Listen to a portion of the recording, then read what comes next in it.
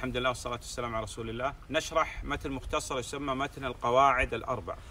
бисмиллахи рахмани рахим азыр биз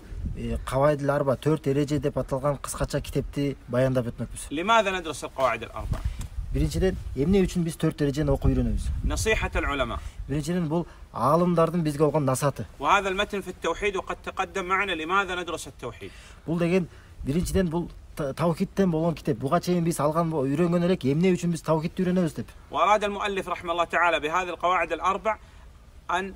تستطيع وتتمكن بإذن الله أن ترد على بعض الشبهة التي يأتي بها أهل الشرك في زماننا жана ши автор китептин автору бул төрт эрежени жазган менен эмне максатта жазган ушул төрт эреже аркылуу аллахтын жардамы менен биздин заманда боло турган мушриктердин ар кандай жанагындай э, шубухаттарынан алыс болуш үчүн ошого ошого ылайыктап жазган نعم эле. هذه القواعد الأربع تنقسم أو يعني فهرسة القواعد نقسم القواعد إلى ثلاثة أقسام эми бул төрт эреже китеби мунун мазмуну кандай десек мазмуну бул китеп өзү үч бөлүктөн турат مقدمة кириш сөз ولماذا ندرس التوحيد жана экинчи бөлүгү эмне үчүн биз тавхидти үйрөнөбүз والقواعد الأربع жана төрт эреженин өзү نعم